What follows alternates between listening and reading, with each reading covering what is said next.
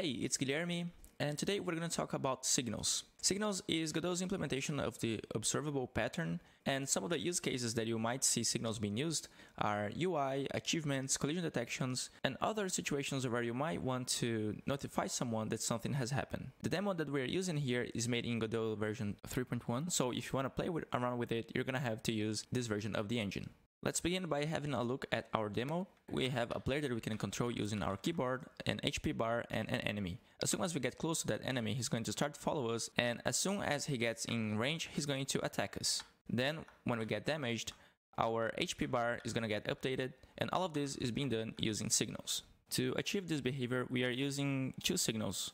One is emitted by our player to notify our UI element that our HP has been changed, and the other signal that we have is when our player enters an area around our enemy that signals to him that he has encountered a player and it's now time for him to start following the player and try to attack it. To better understand what signals are, you can think of them as messages that are sent by an emitter and are received by an observer. The observer may do whatever he wants with that information. This means that different observers may do different things when a signal is emitted. And the emitter, the one that is sending the messages, does not care who or what is listening to these signals and if there are listeners in the first place. He's just sending these messages and whoever wants to react to them does it. So in the case of our player, even if we didn't have our UI element in the button, the signal would be emitted nonetheless. And this is really important to keep in mind because this leaves no coupling between the emitter and the observer. To see what signals are available to you, you can select any node in your scene. In this case, I'm going to select the player. And to see the signals, you're going to go to the tab right next to the inspector and here you're going to find a list with all the signals that are going to be emitted by this node. In the case of our player, we also have a custom signal called health changed that we are going to connect to our life bar to update it. Now let's open the enemy scene. And here you notice that we have our hitbox, which is a collision shape, but we also have as a child of our enemy an area 2D. And this area 2D has a collision shape which is circular and we are using it to detect our player. If we play our game now, you'll notice that the behavior of our enemy is not working correctly, so let's fix that by connecting the correct signals to it. What we want to do here is connect our body enter signal from our area 2D to our enemy for it to react when this happens. So as we saw before, we can go to the signals tab and here we're to look for the body entered and we're to click on connect.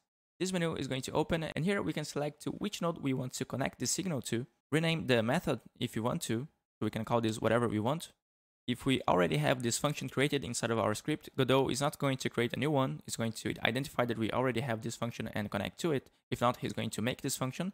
And if we'd like to, we can also add extra arguments to our function call. With the root node of the scene selected, in this case the enemy itself, I'm going to click on connect and the script editor is going to be open to us. And here we can see the newly created function that Godot created to us when we connected this signal. By connecting signals this way, we get an icon that tells us that this node has a signal connected to something. And on the node tab, we can also see which function the signal is connected to. If we'd like to, we can also disconnect the signal. We don't want that, so let's reconnect it. And uh, as I said before, this function has not been recreated because we already had it inside of our script. Here, we are going to check if our body is not a player. And if that's the case, we're going to return from this function. But if it is a player, what we're going to do is set our player to be equal to the body that we just found, set our physics process to true, and now we can already play the game. Now, when I get closer to the enemy, you can see that he's starting to follow me and is going to attack me when he gets in range. Though our HP bar is not working anymore, so let's fix that.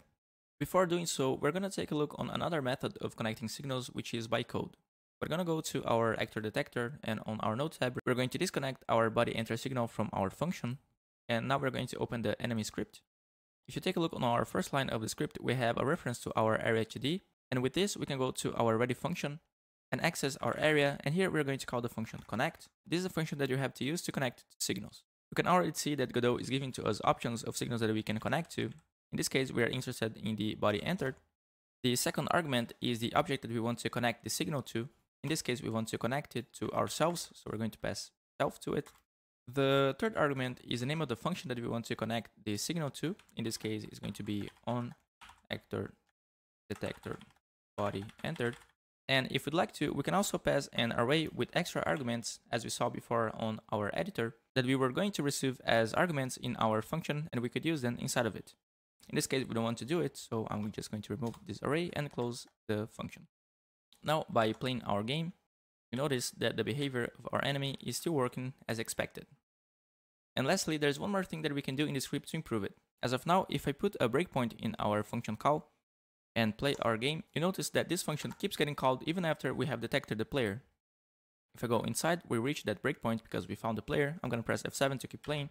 Now, if I go far away from the enemy and enter it again, this function is being called again. But we have already found the player, so there's no need to keep this signal connected to ourselves, as we're just spending resources that could be saved. So let's stop the execution of our game, and after setting the player variable and our physics process to true, we're going to reach once again to our area and call disconnect. Here, we once again have to pass the name of the signal, who we want to disconnect the signal from, and the name of the method. To make our lives easier, I'm just going to copy and paste the signature that we had on our connect function. Now, if I press F5, you'll see that when we get close to the enemy, for the first time, we are going to reach this function. But if I keep playing the game, move away from the enemy and back once again close to it, this function is not going to be called again. Now let's fix the problem with our health bar by going to our game scene. And here what we want to do is connect our custom signal, which is health changed that we created inside of our player. So you can see that by opening its script. And on the top, we can see that we have a signal called health changed that passes along with it a parameter which we are calling new value.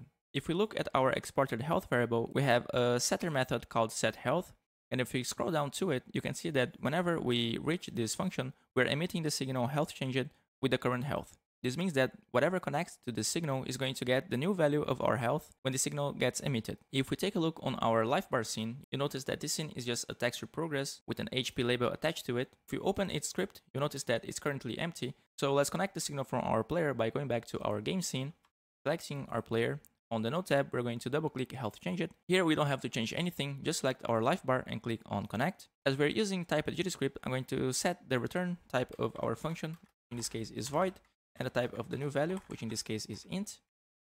And here, whenever this function gets called, we are going to reach out to our value and set it to be equal to our new value. Now we can save our game and play it, and whenever we get hit, our life bar is going to get updated. Here we saw some use cases where you can use not only signals provided to you by Godot, but also custom signals and how to connect them using both the editor and code. You also learn how to disconnect signals, although this is not really common, but it can happen as I just showed to you. And hopefully you could see how powerful this tool is and how you can apply it to your own games. As always, the project is available on GitHub and you can find a link to it in the description of the video. Thank you so much for watching. If you have any questions, leave them in the comment section and I'll see you in the next one.